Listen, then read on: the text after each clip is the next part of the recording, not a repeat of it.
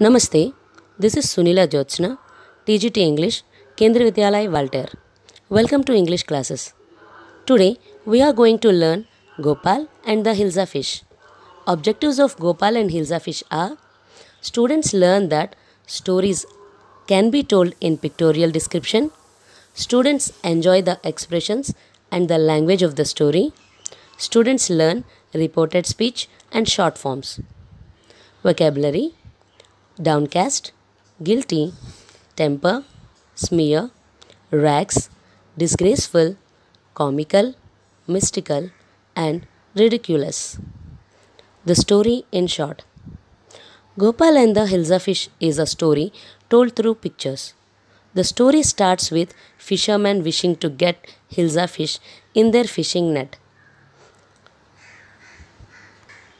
Fishmongers selling Hilsa fish, and household discussing the price of Hilsa fish. Even the king knows that during the season of Hilsa, people cannot talk or think of anything else than Hilsa. But king gets irritated on hearing the courtiers talking about Hilsa fish even in the court.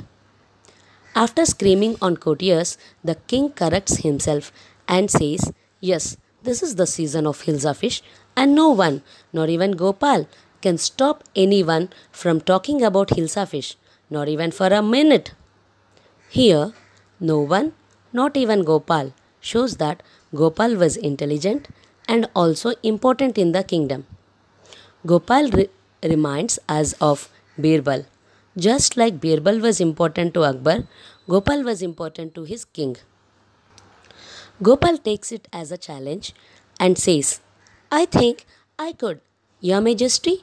On Gopal's statement, the king says, Then let me see you buy a huge hilsa and bring it to the palace without anyone asking you a word about it. Here, it refers to the hilsa fish. Gopal accepts the challenge and after a few days, he gets ready to buy hilsa. So he smears ashes on his face, half shaves his beard, and wears torn clothes. His worried wife questions him why he is doing that and requests him not to go in those disgraceful clothes. To all her questions, Gopal has only one answer that he is dressing himself to buy a huge hilsa fish. Even on road, people talk about him. Some people call him a madman, others a mystic. Kids feel him comical, but none notices the hilsa fish. Gopal's with a huge hilsa fish reaches the court. Soldiers don't allow him in. Then Gopal starts to dance and sing loud. King finally allows Gopal into the court and asks what make, makes him dress up in ridiculous fashion. Courtiers too are apprehensive about Gopal's look. Some says he lost his mind, wherein others say it's one of his crazy jokes. Finally, Gopal discloses that he brought hilsa fish from market to court, and even in the court, none is interested in the huge hilsa fish. Thus, he wins the challenge. The king is pleased and congratulates Gopal for achieving the impossible once again. Now, students, tell me what is the story about? Is it about hilsa fish? Is it about Gopal's appearance? Or about Gopal's intelligence? Yes, the answer is the story is about Gopal's intelligence. This story is about the person's presence of mind and intelligence, and also about the king's humble nature who readily accepts the victory of his courtier. Now, looking into the important aspects of the story, students, we learn the short forms like I am, I am, he is, his, cannot, can't, what is, what's, is not, isn't, it is, it's.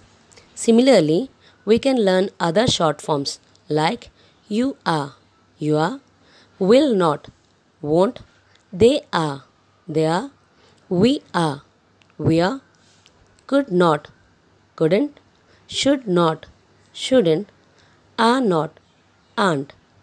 Now look at this. How do we pronounce them? This can be I would or I had. We can decide it with the help of the next word. When the next word is V1, we say it as I would. I would like to do the work. When the next word is V3, we say I had. I had done the work. Hope it is clear to us. Let us see the reported speech in next video. Thank you.